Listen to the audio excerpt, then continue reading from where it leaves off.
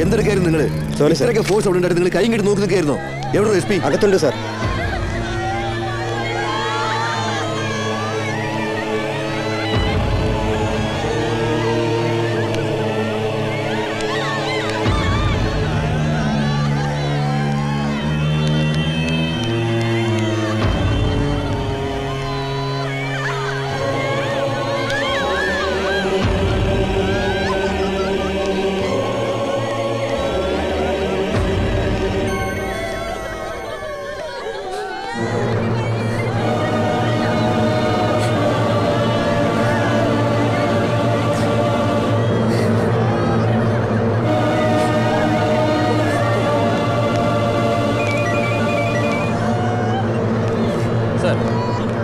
yes sir okay sir I will ഒരു ഭാഗത്ത് രാഷ്ട്രീയക്കാരും മറുഭാഗത്ത് പത്രക്കാരും അതിന്റെ ഇടയിൽ കൂടെ നമ്മുടെ ഡിപ്പാർട്ട്മെന്റും ഐ ജിയാ വിത്തിൻ അവേഴ്സ് നടന്ന സംഭവങ്ങളുടെ മുഴുവൻ ഡീറ്റെയിൽസും അങ്ങോരുടെ മേശപ്പുറത്ത് എത്തണമെന്ന്.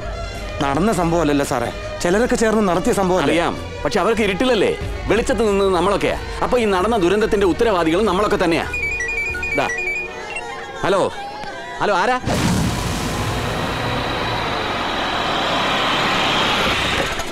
നമസ്കാരം സാർ സാറിന്റെ മണ്ഡലത്തിൽ ഇതുപോലുള്ളൊരു ദുരന്തം സംഭവിച്ചതിനെ കുറിച്ച് എന്താണ് പറയാനുള്ളത്? സന്തോഷം എന്ന് പറയാൻ പറ്റില്ലല്ലോ. ദുഃഖിക്കുന്നു എന്ന് പറയാനും പറ്റില്ല. ചിലരൊക്കെ കാട്ടിക്കൂട്ടിയ തെമ്മാടിത്തരം എന്ന് വേണമെങ്കിൽ പറയാം. ആരാണ് സാർ ഈ ചിലരൊക്കെ? ഞാനും താനും അല്ലടോ. പിന്നെ ആരാണെന്ന് ചോദിച്ചാ അവിടെ ചോദിക്കാം.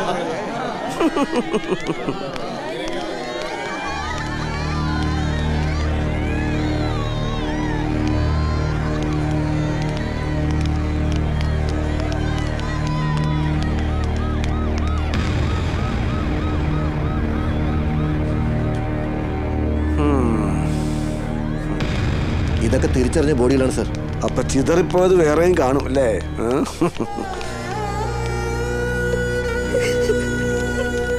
പോസ്റ്റ്മോർട്ടം കഴിഞ്ഞാൽ ഉടനെ ബന്ധുക്കൾക്ക് വിട്ടുകൊടുക്കാനുള്ള ഏർപ്പാട് ചെയ്യണം. ശരി സർ. ഓ സന്തോഷം. അപ്പോ ഉത്സവ കമ്മിറ്റിക്കാർ ഇവിടെയൊക്കെ തന്നെ ഉണ്ട് അല്ലേ. ചത്ത് കിടക്കുന്നവന് ജാതകം കുറിക്കാൻ വന്നതായിരിക്കും മാമനും മരുമോനും ഒക്കെ.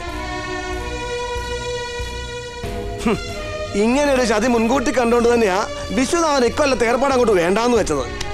അതൊരു വളമായിട്ട് കണ്ട് കലാശക്കൊട്ടിന് ഇറങ്ങിയിട്ട് ഇപ്പൊ എന്തുണ്ടായടോ? ഏ?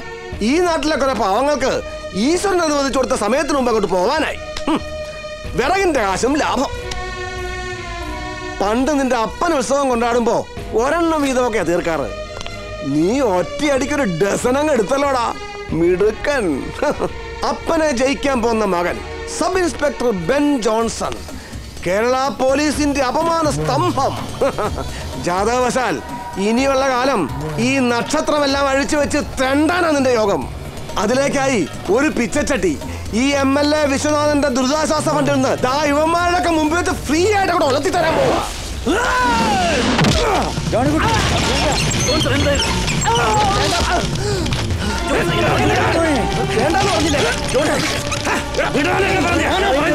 നായേ ഒരു തെറ്റും ചെയ്യാത്ത കുറെ പാവങ്ങളുടെ പ്രാണൻ എടുത്തിട്ട് വേണം. നിനക്കെന്നെ പിച്ചച്ചെട്ട് കൊലുത്താൻ. അല്ലടാ വിടാനല്ല പറഞ്ഞ? എടാ എനിക്ക് വോട്ട് തന്ന് വിജയിപ്പിച്ച എന്റെ ജനങ്ങളുടെ മുമ്പ് വെച്ച് നീ എന്റെ നെഞ്ചത്തി ഔട്ടിയല്ലടാ ഇവനൊന്നും പോലീസല്ല ഗുണ്ടയാ.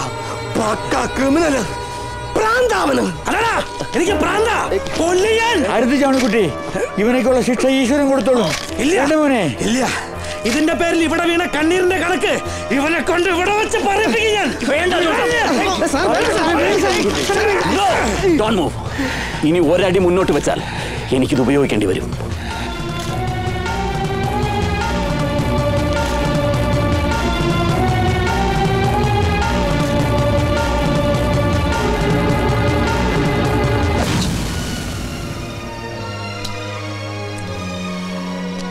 സബ് ഇൻസ്പെക്ടർ ബെൻ ജോൺസന്റെ ഉശിരൻ പ്രകടനം.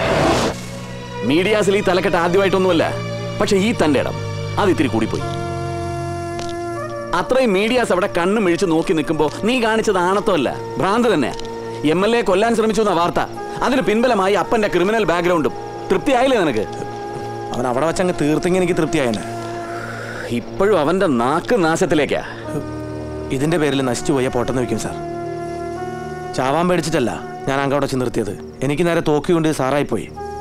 ഞാൻ ഈ യൂണിഫോം ഇട്ടിട്ട് ഈ നേരം വരെ മനസ്സറിഞ്ഞ ഒരാളെ സല്യൂട്ട് ചെയ്തിട്ടുള്ളൂ. അത് നിങ്ങളെയാ. ഇതറിയാവുന്നത് കൊണ്ട് തന്നെയാ ഞാൻ ഇത്രയും നേരം നിന്നോട് പ്രസംഗിച്ചത്. എടാ വികാരം കൊണ്ട് ഈ ലോകത്ത് എവിടെയും യുദ്ധങ്ങളെ ഉണ്ടായിട്ടുള്ളൂ. വിവേകമാണ് മനുഷ്യന് വേണ്ടത്. ഇവന്മാരൊക്കെ രാഷ്ട്രീയം കളിക്കുന്നവരാ.